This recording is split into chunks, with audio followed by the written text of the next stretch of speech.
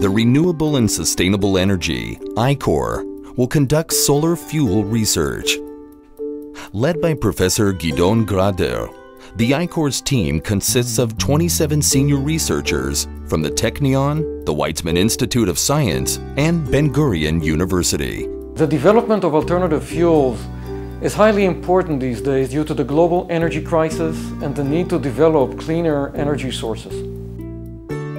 During its first year of operation, the I-CORE will absorb additional Israeli researchers returning from Harvard University, the University of California at Berkeley, and the Jülich Research Center.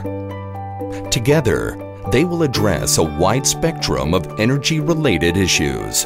The research of existing and new faculty members on solar fuels will greatly benefit the environment and is also aiming at reducing the global oil dependence.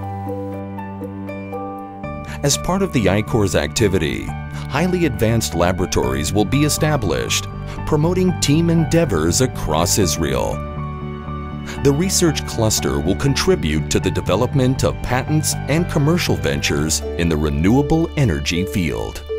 I have no doubt that this I-CORE will give rise to significant results within a few years, which will constitute an important step towards a greener and safer planet.